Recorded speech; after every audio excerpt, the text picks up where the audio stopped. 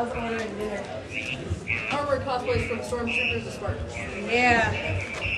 Okay. Are there any specific types of armor people are going to be trying to build? Start with that one. I'm just going to BS till they actually get their butts here. I thought I was the last one to leave the room. Do you know the series Saint Seiya? Knights Yes. of the Zodiac? Yes. I'm doing Aquarius. Eventually. Yeah, armor takes a long time. Depending upon what you're doing it out of. I have to buy vinyl to cover it. I'm being Shannon here. What the? What the?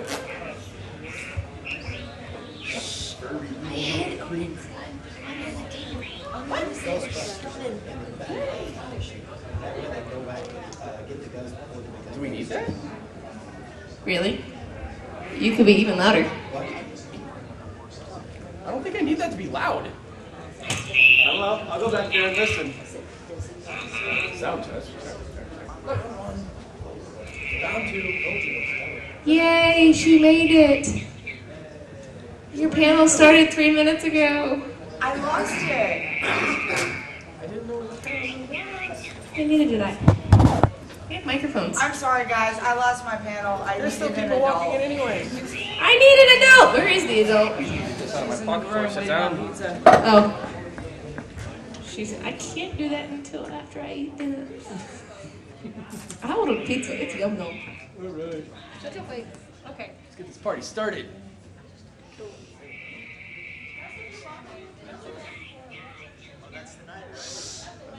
God, a Furby. I'm fixing to throw it across the room. Remove the batteries. Oh, you have no idea how. I need a screwdriver for that. All right, go. Go. All right, this is the armors panel. Um, according to the description on the paper, it says uh, stormtroopers and Spartans, but we do a lot more than just that. Um, we cover everything from hard armor to leather armor, um, and whatever type of other armor you want to make. All right, where's the batteries? In the bottom, Here. and the screws. Corey. Yes? Take that to my room. Get rid of the Furby. What's your room number? Odin, take that to the room.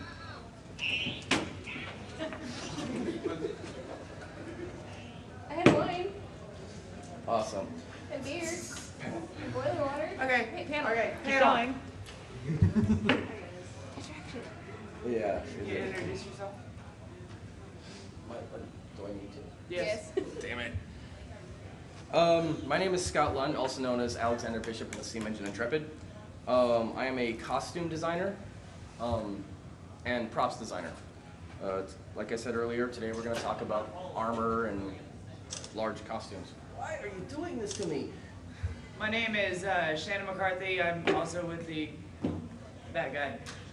Uh, but doing, uh, I do all the plushy parts of costumes. You know, all the stuff you wear under the costume and the parts that you see, corsets and blah blah blah blah blah blah blah. blah, blah. I don't say that. Hi, I'm God Mode. I do Everybody come metal. on. Hi, God mode. Hi, God Mode. Yay! Okay. I do the metal and chain and leather, and I'm starting to do the plastic stuff. Yay! I get that armor. I'm excited. I get a new set of armor. So what we're what we are actually gonna tell y'all about in this one is more of how to do this without spending two billion dollars on your costumes. You're still going to spend $2 billion on your costumes. Don't be me. I spend way too much on my costumes. Except for this one. You wanna start with? Do you have pictures and representations of your costumes? Actually, we're gonna have our angels out tomorrow. We didn't bring them out today because, uh, be totally frank and honest with you, we got into a car accident last week, Oh, that sucks. and uh, we're just really not feeling real sublime right well, now. on top of that, some of our stuff was damaged in a car accident. So uh, yeah. Life sucks. Yeah. It does, but we will have both angels out tomorrow, and you'll be able to see exactly what we're talking about tomorrow. And in fact, the the angel, um, my angel, was a dare from a friend of ours. He said, "I bet you can't do it for eighty dollars." Actually, the dare was to build a high-end uh, custom build for under a hundred dollars. Was the dare, and our overall uh, price when we were finished was eighty-nine dollars. Okay, so how many people know how to sculpt in this room? I don't, so, okay, so I'm gonna tell you, shut up, we're not all special. Okay, the, for those of you that cannot sculpt, do not have clay, and do not have the artistic ability to do so, me included, there's this really cool thing out there called Pepakura. Has anybody ever played with Pepakura? Seen it, haven't played with it. Okay, what it is, is it's a paper craft where you can go in and you download what they call an unfold, which is basically all the pieces of whatever you're doing, and you cut the pieces out and you get your little Elmer's glue and a beer, and you put it back together. Are you kidding? Me? It's more like a case of beer. You talking about, it's a monologue experience. It is. It It's- is, but, but, it will only cost you, we, we just, we printed off Boba Fett armor just to see, the entire Boba Fett, uh, it was a hundred sheets of cardstock and twenty dollars in printer ink. For the entire thing. If you have the time and you don't have the money, look into it, you can resize it, there's, you know, programs that'll help you do all that. And once you get to that point where you actually have something that's just made out of paper, Oh, um, do keep in mind if you're going to try the Pepakura route, you do need to download a program called Pepakura Viewer um, for the unfolds. If you do not have Pepakura Viewer, you will not be able to see or print off the Pepakura file. I like the viewer because it's a 3D model and you can click on the piece and it shows you exactly where it goes on the model. Well, on top of that, you can also you can click on the fit, what the finished piece should look like and spin it in any direction you want to, so you can see exactly where it goes and what it should look like. Resizing? Uh, resizing, there is um, a program that goes along with Pepakura Viewer that will resize um, any Pepakura file to fit your scale. Now, as far as oh, now as far as um, resizing it, um, it's pretty much going to be trial and error when it comes down to the scale that the Pepakura file was uh, written on. Um, most people who write a Pepakura file write it onto the scale to their body because it's the only thing they really have to go off of. So uh, when you're doing a full set of armor off of Pepakura, the best thing to do is print off one of the smaller items like an arm cuff or something like that, because it's going to give you the best idea on what's going to fit your body. If you do a, a full forearm cuff and it fits your body perfectly, it's pretty safe to say you can print off the rest of the uh, the kit and it will fit you perfectly. Now, if it's too small or too big, then you're going to have to go in and res- uh, resize it to fit your scale. And I would go in small percentages to start off, so you're not blowing it up way too big or, or shrinking it down way too small. I'd go, uh, if you're going to resize a Pepakura file, I'd do it like 12% at a time, just to see what, uh, just to get it to the right proportion, what's going to fit you without going overboard. Um, now, uh, once you start getting into Pepakura, it's, I hope you like jigsaw puzzles. Because that's pretty much what it is. It's a three-dimensional jigsaw puzzle that you're putting together. After you get, If you're lucky, the pieces are numbered. Most of them are. actually, there's um, there's a little thingy up at the top. there's a little thing in the toolbar that has one, two, three, and uh, I think it's red, green, and blue blocks in it. And that's actually to put numbers in your uh, Pepakura file. You have to make sure that is clicked before you print it off. Otherwise, you're not gonna have it's not gonna have numbered pieces. Unless you just want to do that. Um, now, after you get your Pepakura file together, um, you can go down to Walmart and get a fiberglass kit uh, for relatively cheap. Uh, you can start off with, uh, I think it's two quarts of resin, um, and it's right around twenty dollars. Um, and you're gonna fiberglass the inside of your of the pepper of your model that you made. And the reason you fiberglass the inside, not the outside, is if you fiberglass the outside, you're gonna lose all of your detail. So if you got some intricate detail, uh, detail on like an arm piece or a chest plate or something like that, you fiberglass the outside, you're gonna lose all of your detail. and gonna have to go back in with um, a compound putty or uh, body filler and sculpt it back down to get your detail to come back out. And if you're not a very good sculptor, chances are you're not going to get your detail back. You might as well just throw it away, reprint it, put it back together, and then You will do this a lot. you will. There's a lot of trial and error when it comes down to stuff like this. Um, My biggest, uh, my best suggestion for uh, if you're new to Pepper File, go online. There are, well, it's no matter what you do, whether it be Pepper Files or building from the ground up, there are a million tutorials on YouTube that will tell you the exact procedures and give you a visual description on how to treat a product like that. Now, after you get your, uh, when you're working on your Pepakura file and you get the inside all fiberglass and it's nice and hard, then I would um, go on the on the outside, go in with thin layers of either body filler or fiberglass resin, and make sure you pay attention to the time span that it cures in, because you want to be nice and smooth. Uh, most body filler or fiberglass resin normally will flash in about five to ten minutes, depending on how much hardener you put in there.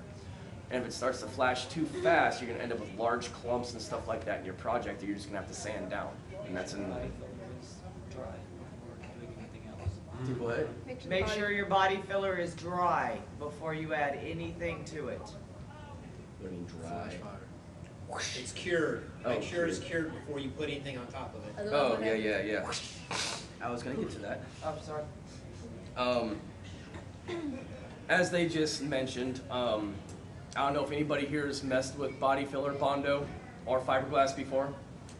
Um, if you notice when it when it flashes, it gets hot. Um, now, when you're working on a project like that, you'll, you'll you know go to knock on it. Yeah, it's nice and hot. It might be still just a little bit tacky. And be like, all right, well, let's go on with the next uh, step of the procedure. Well, if it's still hot and you add body filler or something else on top of that that's also going to flash and get hot, you will cause a flash fire, essentially burning your project and possibly your garage. Not that that's ever happened. um, make sure you're also in a well-ventilated area uh, because the fumes are quite heavy on products like this. Um, Respirators. Yeah, you definitely want to wear a respirator, wear Use your protection. goggles if you're steampunkers. That's why you have them. But, Eye um, protection. Yeah, definitely make sure you, you wear your protection. Uh, respirators, make sure you're in a well ventilated area. I definitely suggest uh, when you're working with products like this to do it outside in your backyard or patio or whatever. And definitely on a, on a relatively warm day. Because most products like that, uh, when you're mixing them, like to like to set up between 70 and 80 degrees outside. If it's too cold, um, it won't set up all the way and it'll stay tacky for days. Um, and if it's too hot, well, it's definitely gonna flash a lot faster and it's gonna be a heck of a lot hotter to the touch and possibly scorch the product that you have that you're applying it to. so de- um, definitely outside, well ventilated, in between, you know, on a decent day between 70 and 85 degrees is the ideal temperature for dealing with stuff like that. And not too windy. Not too windy. And you get leaves and it's just not fun. Yeah. And your product blows away because it's a piece of paper. Be aware if you have pets where they are. My dogs nearly took out my wings when I was resining them because they ran to the table and knocked the table off the back porch. I thought you were gonna say the dog tried to eat the bondo. It did. That would be hilarious. It licked my wings. She saw it. It was funny. Did it I worry stick like about the your kid dog from the Christmas sometimes. story? Like, No, no? it, it was before I started resining them. Uh, another thing, guys, if, if you're like uh, like like Jill said, wings. Um, if you want a good base for wings, try using um, pink insulation foam. It's like the coolest junk ever. It comes in a four by ten sheet for ten bucks. 12. It's 12 four, bucks. Four by eight. Four by eight. I'm sorry, my bad. Standard sheet of anything. Um, when you're working with it, uh, there are a lot of glues that eat it. It's a lot of everything that eats it. So be aware, but it comes with these really cool two little plastic protection sheets that you can hot glue that don't eat the foam. I suggest if, well, if you're working with foam like that, you're gonna do any sort of sculpting, take the plastic off. Um, uh, wood glue works really good on bonding the foam together, just foam to foam. Uh, take that plastic off, because what you're gonna do when you start sculpting it down is that plastic will still be in between there and will start to separate over time. Doesn't matter how much hot glue or uh, whatever you use, because that plastic actually peels off of the foam relatively easily. So just go ahead and peel that plastic off and use wood glue and compress it really well, and you uh, you'll get a nice block of foam that you can use for sculpting. Um, that's actually what I was going to move on from the Pepakura. Um, if you are a little to, a little bit more versed in the sculpting world, that's what I use for a lot of my uh, builds. Is that pink insulation foam? It sculpts really well, it holds shape really well, and it's relatively durable, especially after you get it coated with fiberglass. Um, and it's it's really great for sculpting. Oh, and guys, if you're going to go that route, buy an electric knife. It's the coolest thing in the world. It's the easiest way to cut it. It just. Or a serrated knife. Bread knives. Well, bread knives, actually bread knife. I don't Uh, have bread straight- knives in my straight edge house. knife does not work They've very all well. been sacrificed to foam. He has a question. Uh, when you're working with the phone, and I've been considering doing this, uh, do you, are you making a positive to make a negative from, or? You can. Uh, it all depends on whether or not you uh, what you want your project to be. If you don't care about weight, it's really great for just sculpting something and making um, a negative that you can cast and then do a resin cast off of that.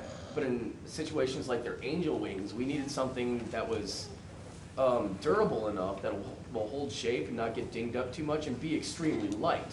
So we based the sculpt um, with the pink insulation foam with the intent of covering it with, uh, with a ure, uh, urethane-based product. So the end result would be really light, so the core is not heavy. Yes. Those are the wings and the, the, that he's talking about where the base is actually foam. The packs themselves, I think, weigh 10, 15 pounds maybe. Mine weighs 15 at least. Yours weigh, well, you, you went resin nuts. Yeah, what resin is on?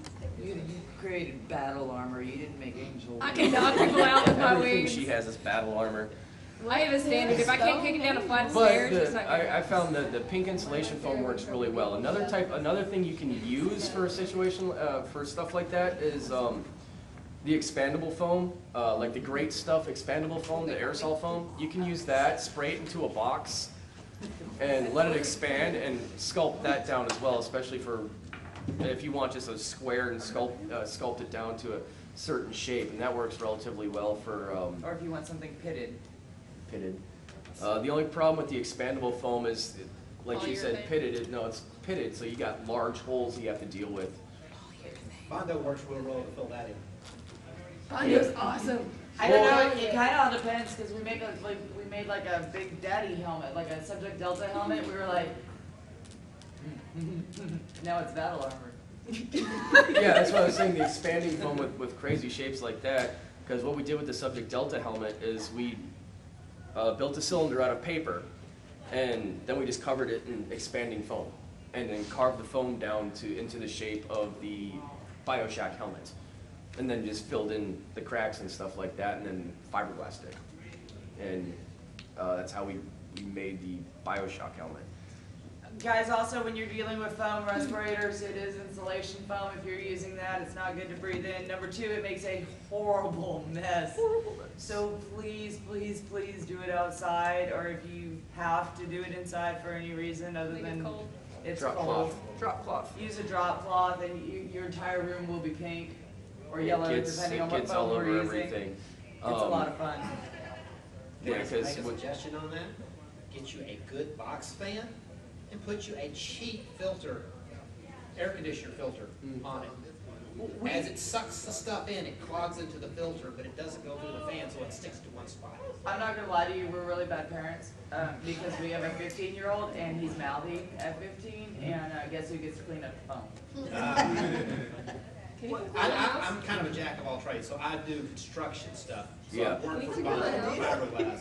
You want to clean up phone? I don't get to do the neat stuff that we. Yeah, like with the do. pink insulation foam, the other thing that happens when you uh, when you're carving it um, is it it creates a, a fine dust with the um, just like as the blade goes along. No, no different than sawdust coming from wood. But um, as you're carving it, that dust is actually static electricity, uh, statically charged, so it will stick to surfaces. Um, It's everywhere. yeah, I it, know, it, I've worked with it. It does get everywhere. They also have blue foam that just. Yeah. Yeah. And it works too. What do you We should carve make purple expanding foam. foam with? Uh, same thing. Uh, serrated knife, or my personal favorite to use for any sort of carving or any sort of foam, is an electric knife. It'll go through any sort of foam like butter, whether it be the pink insulation foam, the expanding foam, or just the, the squishy like um, upholstery grade foam. It goes through any foam like butter. It's an amazing tool to use when you're carving foam, no matter what it may be. And I- guys, when you're doing this, um, buy the foam first. Don't go in there thinking, yeah, we're gonna have Mandalorian armor in two days. Because it's not gonna happen. Be real with yourselves. You know, get you a little piece, figure out how to do it, know your materials, and then just work off of a little scale onto a bigger scale. You're gonna be a lot happier with yourself, and you're gonna be. Otherwise, you're gonna be so frustrated. We're gonna get a call at 3:30 in the morning because you can't figure out Yeah. what you did wrong. I Sorry. definitely suggest people playing around with different materials. Start, like she said, start out with something small. Whether you're working with the Pepakura files or you're working with um, just carving and making yourself, or maybe a conjunction of both. One of a one of the methods that's come up in the Pepakura uh, world right now, which is kind of catching on and works really well, is um, you know the yoga mat foam. People are using that yoga mat foam and doing Pepakura with that, transferring the Pepakura onto that foam, then cutting it out and hot gluing it together. And it saves a lot of time with the fiberglassing and stuff like that. It's really cool And for it's- Mass Effects. And it's not nearly as hard as if you were to either fiberglass or uh, go with the other, the body filler and stuff like that. Um, it doesn't pinch nearly as bad when you're um, wearing your armor and stuff like that. Which leads me on to um, another factor of armor building. Um, wear it around your house before you go out to a con with it. Definitely test it. Definitely test it. You want to know where that armor is going to chafe. You want to know where that armor is going to pinch. You Um, want to know if you can go to the bathroom or not. most definitely, you want to know whether or not you need help Bathroom buddy. Putting it on and Walmart. taking it off. Um, you need to know how that, how, pretty much how that Go to armor's going to Walmart. wear. I'm not kidding. I'm taking all my costumes to the Walmart. I've cleaned the house in, in armor before. I was trying to learn how to dance in TK armor, in stormtrooper armor. Yeah, we were, last week we were at a convention trying to figure out if we can Gangnam style with the wings on. So we had the wings on in the middle of the convention trying to figure out if we could do this. Yeah, uh, yeah, you're laughing, but you just wait. There was nobody there. It We're gets, like, it hey, gets really dance boring in those wings. Oh, hey. That's another thing with armor, guys, is a lot of this armor that you wear, you'll notice that if you move, like if you see the stormtroopers out here, they're constantly swaying. It's called stormtrooper sway. It's because that armor, they're trying to move that armor on them so it's not resting in one spot and hurting them. It's the same with the wings. Any sort of pack on your back, when you have a backpack on, a heavy backpack, you try to hold it up or whatever.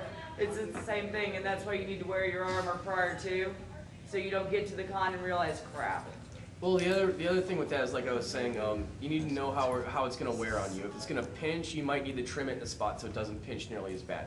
If it chafes, well then you need you know you'll know at that point. Well, I, I should put a padding in there so it's not chafing on anymore. Um, it's definitely something you want to do before you get to a con and decide you're going to wear it for 14 hours and be extremely uncomfortable. Um, now, depending on what type of armor you're going to um, build, whether it be pretty or kind of um, rough looking, uh, what's the word I'm looking for? Rugged. Rugged or uh, Weathered.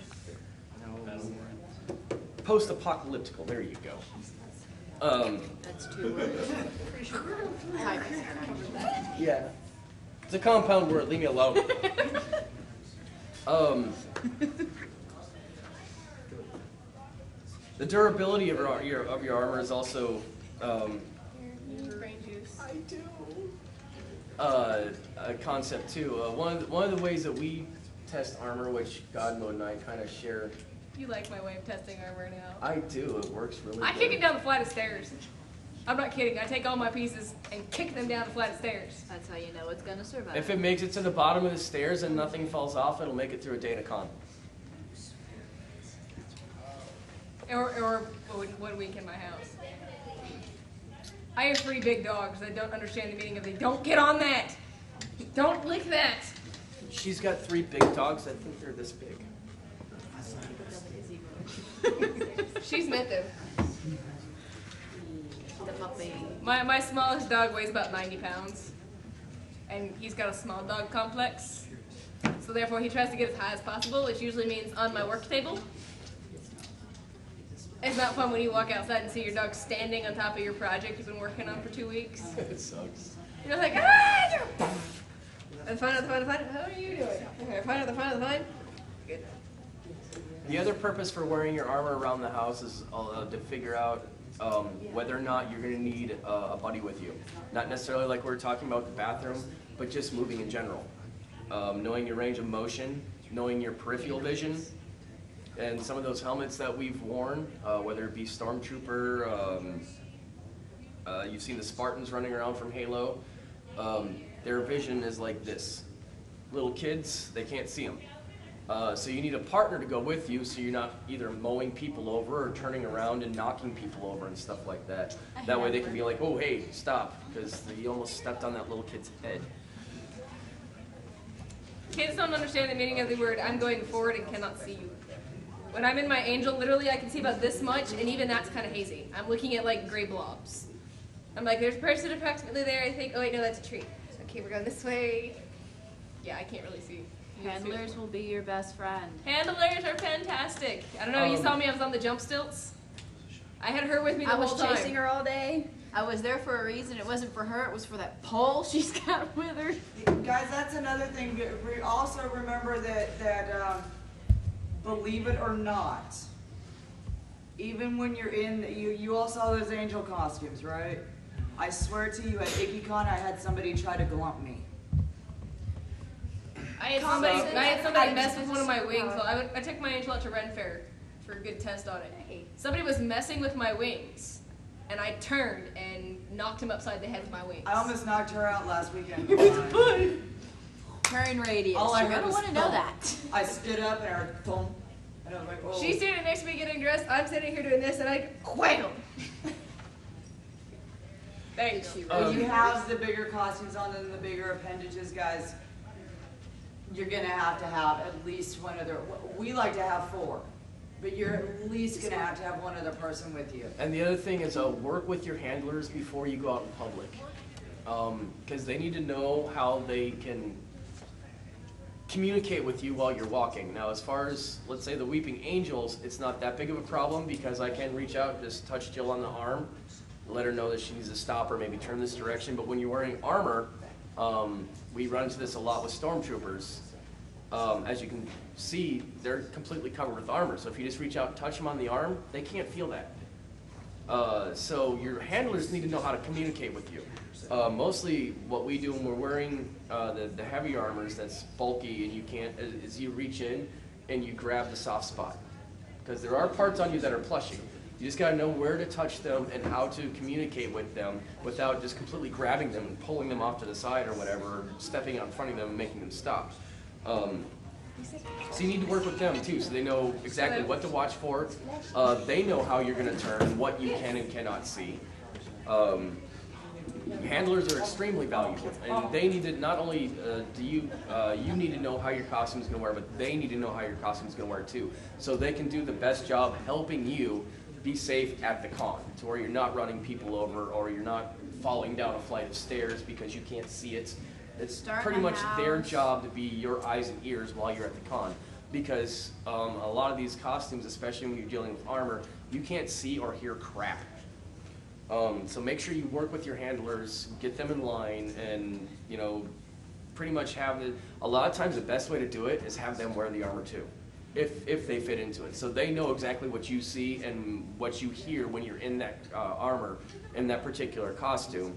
So they can assist you the best way they possibly can assist you while you're walking around the con and taking all the pictures and having all the fun. And it helps to have somebody that knows you so that way if you start moving funny, they'll know, hey, you either really need to sit down and take a break, you need water, you need to eat. They're not sure to go with you in the Or you need to completely Oh, guys, get out of a, a it. lot of times with these bigger costumes too, because like we were gonna build the front loader from Alien. Because I like to be eight foot tall. Um, call the convention, talk to the convention. Everybody's got an email address. Email them and say, hey, I was thinking about coming with this outfit. You know, and they will give you like a yes or no. Because some sometimes they won't let you come in with something that large. And sometimes they don't have the capability, no uh, freight elevator or anything like that for the weight. You know, when you're talking, you know, huge builds like that. So always be aware of that as well, weaponry as well. Make sure that you've already been in contact with the convention so they kind of know what you're getting into and what they're getting into. Because it's not fun if you just show up with it and they say no. Sorry. I love your face. too. Huh? It's your panel. How dare you talk? How dare you talk during your panel? You can't speak to any of us. I'm looking at. Um, Sign language. Now, when we were talking about sa- when I was talking about safety earlier, one of the like she had hit on it earlier. Um, when you're wearing big armor and uh, you know big bulky costumes, hydration is key. Um, a lot of people know um, the weather. If it's gonna be hot, don't wear 80 pounds of metal. You're gonna Alright. cook yourself alive. If if you do, make sure you time yourself. Um, that's that's one of the other what's one of the other reasons why you need to wear that costume before you go out to a public place. Um, you need to know how fast you're gonna heat up in it, especially if the weather's hot outside. Okay, well I can o- maybe only be in this for 15 minutes. Then you have to get out of it, wait a little bit, and get back in it again so you can show it again. Um, stay hydrated. Uh, figure out. Uh, we're still playing with. That's interesting. Yes, Satan? We're, we're still we're still playing with uh, cooling systems that we can use. Why don't you just take that? Oh Take this to the kids. Take it to the kids. Yeah, take it to the kids. We're still playing with the Sorry, cooling guys, it methods. gets rough when you got kid here, Table table there, work over here, you're needed over there. It's an Ewok pizza. Is it fuzzy? Huh? Is it fuzzy? No, It it's is. got, okay. The story behind the Ewok pizza, I told uh, a buddy of mine that I wanted every meat available, including That one goes Ewok. to the baby. This also goes for you and the baby.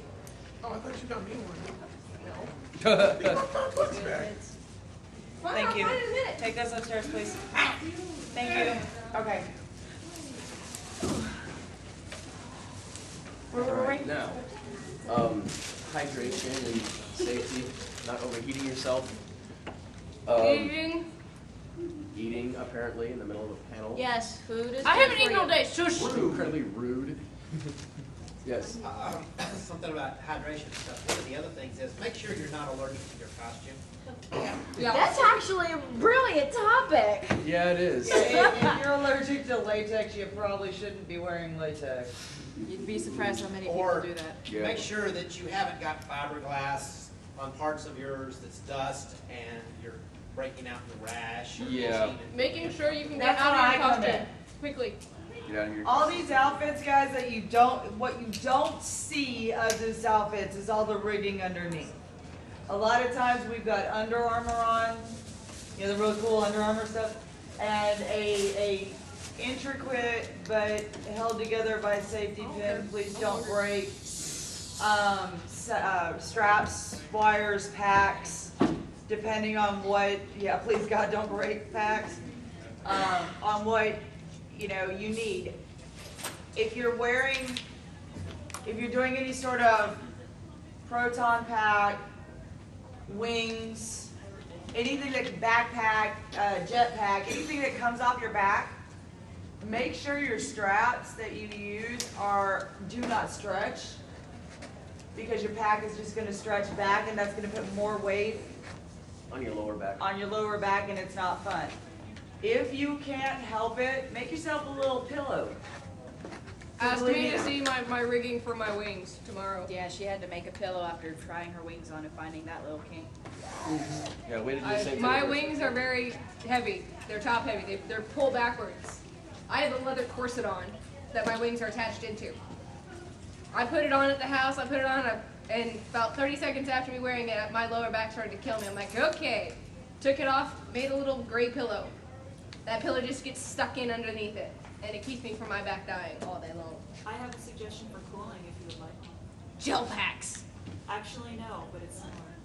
What? If you take your Under Armour, sew aquarium tubing into it, leave a little oh. extra so that you can dip it into a little container of ice water and you hook up a battery powered aquarium pump to the other side to pump ice water through your Under Armour and then you just disconnect them when you're done so you can walk around the car. We're gonna wander around, we'll see you later. I had gel packs. I had a, a black knight armor. Do that. How many of you have ever been to a Ren Fair? You seen the knights? Yeah. There's a reason you don't see the Black Knight anymore in black armor. You know why? I wore Black Knight armor. Shiny black armor, middle of July, Texas. That was a. We had gel packs. We had specially made gel packs that we could stick in a freezer or fridge. Don't stick them in the freezer. I wanted to get microwaved as fast as possible because I'm in 100 degree weather. I'm sitting there going. Be aware where you're sticking these gel packs too. yeah. Don't be sticking them on your shoulder thinking you're gonna cool yourself. It ain't gonna happen. Stick them here, stick them on your kidneys, Four. Stick them up here. stick them up, back up here, throw them down the front, just cause. Girls in corsets, they have this awesome thing called booby chillers. Think of a metal like test tube. Fill it with ice cold water, just jam it down the front of the corset. You're good for hours. As funny as it sounds, that stuff actually works. Yep. Also, They sell it- them at Ren Fairs called booby chillers. Yeah, it's, it's a beautiful thing. Now, It's when, amazing. Wait till it's hundred degrees and you're in a stormtrooper outfit, you'd be like, where's the booby thing? Where is the booby thingy? Because I'm not. uh, when it comes to helmets, um, who has ol- an old PC tower laying around that's broken Oh, or don't. burnt out or tear that thing apart and steal steal the fans out of it. They're small, they're lightweight. It doesn't take a whole lot of voltage to run them. A lot of them will run off of a double A battery, and they work wonders inside of a helmet to cool your face off and keeps your visor from fogging up. Um, actually, if you look, if you ask and look in a lot of, go up there to the 501st, look in a lot of their helmets, tell them to see if you could look in their bucket. They've got those little PC fans in there. It One in, one out. yeah, you got um, most of them. They have one uh, circulating air coming in, fresh air coming in, and one circulating uh, air going out. Um, it'll keep your keep your head relative not cool, cool, but it'll keep you from sweating really bad, and it'll keep your visor from fogging up.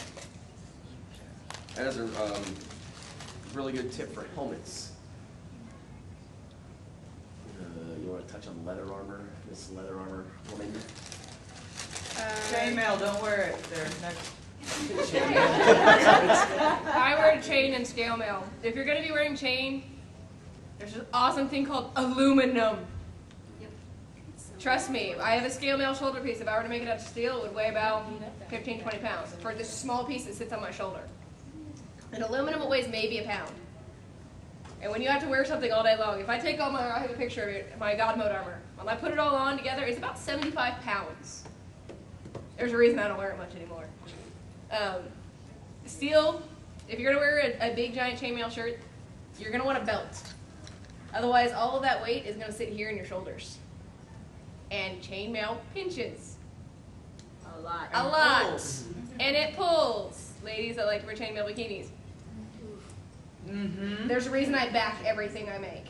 It's got a backing in it. I don't like pinching stuff. TheRinglord.com is awesome. I buy, I refuse to make rings. If you're cheap and well, not cheap, but if you're lazy, the ringmail dot theringlord.com. I have an ungodly amount of rings from them. I'm doing a chainmail panel on Sunday. I'll tell you all about it. Ooh. Um, leather armor. When you're building leather armor, how many of y'all remember